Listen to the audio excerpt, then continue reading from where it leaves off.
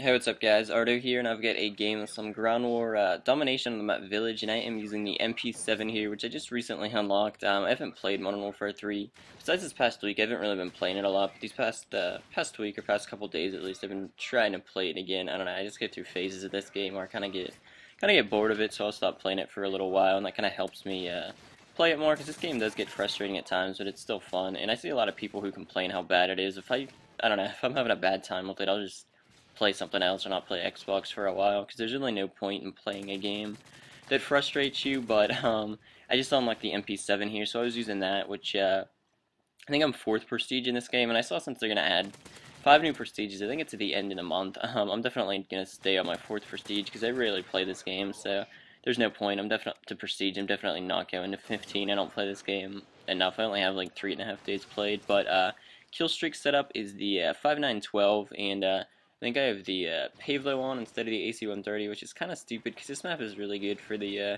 AC-130, that and the Reaper, so I probably should have put that on, but like I said, I'm using the MP7 here, and I'm just running around most of the game. Uh, and I just been like rushing and stuff. I've been having fun playing this game lately, but uh, the one thing I have the Akimbo FMG9s is my secondary, which they're kind of cheap, but I don't know, I like using them. They, uh, they're really good for rushing, but the one thing that's annoying, like, right when this game came out, I saw a lot of people running Stinger missiles, but since the machine pistols are so powerful, you see more of those, which, uh, I don't know, it results in guys on your team not wanting to shoot down air support, which is always annoying, so, like, if I'm not on a kill streak, I'll switch to something that has a Stinger missile and shoot it down, but if I'm on, like, a high kill streak, I just usually sit inside a building and wait for the uh, enemy air support to go away, because I don't really want to die on, like, a 7 or 8 kill streak when I'm trying to get something, but, um, what I wanted to talk about, I don't know if anyone knows who uh, Curt Schilling is or not. He was a uh, pitcher for the Boston Red Sox. I think he retired in 2007 or 2008, but I don't know. I always liked the Red Sox when I was younger because uh, I hated the Yankees. They always annoyed me, and the Pirates have always had a crappy team since I've uh, since I've been watching baseball. I don't think they've won 500 like 15 years. They uh, they always suck. They don't spend any money. But yeah, I always liked the Red Sox growing up. So um, I don't know. I saw Curt Schilling. If anyone doesn't know who he is, even though I think I just said it, so I don't know why I did that, but I don't want to retake this, but yeah, he was like one of the best pitchers ever for the Red Sox. Uh, he won two World Series with them, and in 2004, he actually, they were down three games to none against the Yankees, and he actually had a thing where, uh, I think his tendon ruptured, or something, something in his, in his tendon in his foot, like, screwed up, so they actually tied it to the, to the bone in the ankle of his foot, and uh, I think it was game six when he was pitching. You could see his sock was just filled with blood. So this dude's uh, pretty hardcore and stuff. But I saw he was saying, uh, I saw some interviews with him because he uh, created a game studio. Um, I think it's called 38 Studio or 38 Games, something like that. But he was talking about how he said like when he was on the road and stuff, he would uh, I don't know, he would play uh, play baseball and stuff, and then on his off days, because pitchers only pitch once every five days, you get five uh, starting pitchers that switch off in the rotation so it doesn't kill their arm pitching every day. But he said he would play like World of Warcraft and stuff in his hotel, which is kind of funny to see. Uh, I like a major baseball player playing games like that. Um, I think it's cool that he was gaming and stuff. That he said he would just do that so he could stay out of trouble and not drink and stuff. But um, he has a game studio out and he has a new game out. It's called uh, Kingdom of Amalur. I think it's called Reckoning.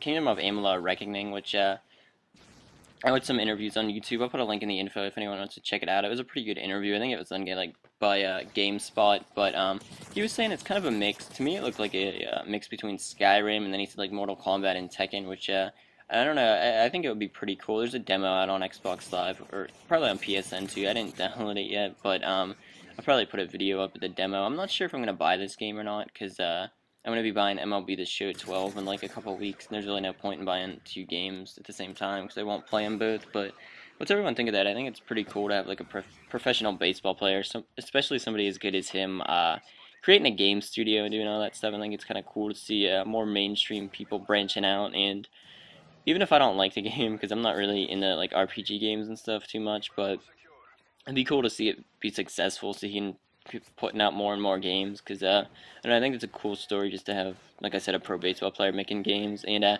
here I get the Reaper. I guess I'll go back to the gameplay. Here I get the Reaper, and I uh, sped it up there. I get the Pave Low. Um, uh, one more thing, I really don't watch uh, Woody's gamer tag at all, but I saw he was fighting with some dude. Obviously, Jesus, they were gonna fight. I guess they were trying to schedule like an MMA fight or something, which I don't know who this obviously Jesus dude is. He was just trolling Woody, and I guess it worked because I got people to watch his videos. I got me to watch his video, but I don't know, he looks like he's like 16 years old. and He was saying he can beat up Woody, which, uh, Woody's videos are pretty annoying. He just, like, caters to, like, younger kids and stuff, and, uh, just, I don't know, he just makes stupid videos. I don't really like his, but um, he uh, is definitely bigger than this dude. So I don't know why this dude definitely backed out of the fight. He looked like a little bitch, but um, I don't know what I was on about this. Oh, that kid looked like he was 16. There's no way in hell he could beat up Woody, but um, yeah, they canceled that, so I wouldn't even thought that would happen anyway. Then, but um, yeah, that obviously Jesus guy. I watched uh, I think two of his videos, and they were just horrible. I don't know why people are subscribed to him. His videos are really crappy, and I guess he did this to only use me blade and stuff. He would just try to troll bigger YouTubers. So uh,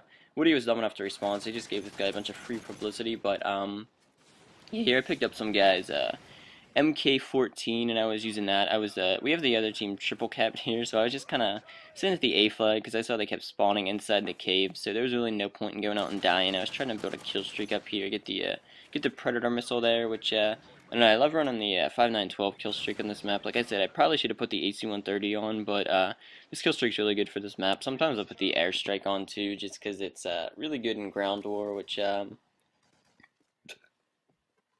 I don't know. The one thing about this game, I had to burp there. That's why it was a weird sound. I'm using a different mic. I don't know. Hopefully this one picks up better. I'm using the uh, my older headset. I think it's a PX21 for the PS3, which I just recently found. Um, what was it saying? I don't know. Oh, there's a new map out for uh, Elite guys too. I think it's called uh, Skyscraper or something. It kind of looks like a high rise from Modern Warfare 2. It looks pretty cool, which uh, the one thing about Elite, if they would have probably made like a map pack where it'd be five or six maps coming out at once, I might have bought it, but I don't know, this one and two month map maps every month is kind of stupid. That's why uh, I didn't subscribe to it. That and the game's kind of broken. But um, I don't know. What's everyone think? I don't know if anyone downloaded the map. Is it good or not yet? It definitely looks fun. It looks like high rise. I saw the uh, the last two maps. One of them looked real cool. It was like a real uh, close quarter map, and the other one just looked really big and annoying. They said one of them was like a sniper map. It was way too big, but um, I don't know, that map kind of looked cool. Hopefully they won't do Elite for uh, Black Ops 2. Hopefully they just go back to selling map packs or something. Or if they do Elite, they should probably uh, add some features, because the uh, like leaderboards and all that stuff, how you can see your stats, they had all that in Black Ops anyway, so I don't know why, why they're charging guys 50 bucks for it now, but um, guess I'll go back to the gameplay, because I'm kind of running out of stuff to talk about here. Um, this game I was actually lucky. I get good teammates because they're just playing with random people. Um, I think I was like listening to music and stuff on this too. Usually when people play Call of Duty, they have their headset on and they don't like play music through their Xbox or anything. But I don't know. I just having fun like rushing around and playing this. I haven't been taking this game too seriously lately, and um, yeah, I was lucky enough to get put on a good team because usually when I play uh play ground war, play domination, I get a bunch of guys in my team who want to play TDM instead of go after the objective, which is always uh always annoying. And TDM in this game, I don't know, I love TDM in like Black Ops and Modern Warfare 2, but it seems very, very slow paced in this game. I don't know if it's Assassin or if it's just more people camp now, but TDM games in uh, Modern Warfare 3, they seem to take like 9 and 10 minutes a game, so I don't know, I'd just rather play Ground War because those games are about the same length and they're a lot more fun because it's 9v9, which, uh, one thing I think would be cool, I, I really did Kill Confirmed, I think it would be cool if they made a uh, playlist which is just 9v9, like a dedicated Kill Confirmed playlist, I think that would be uh, pretty fun, because 6v6 is kind of slow paced on some of the maps, some of the maps it works for, but, like Hard Hat it really works well with, but, I don't know, like Resistance and stuff, I think those maps are way too big for 6v6, it's kind of kind of annoying, but here we go, the gameplay is over. Final score was 200 to 123, and I got, uh, Final score was, uh, what was it, 58 and 10. I got some more videos I'll be putting out. I got a bunch of close, uh, close domination games and stuff like that with me just rushing around. So, uh, that's it, guys. Um, if you're not already subscribed and you enjoyed the video, um, subscribe, I guess. So, uh, I'll put an annotation to my channel if anyone wants to check it out. And that's it. Peace.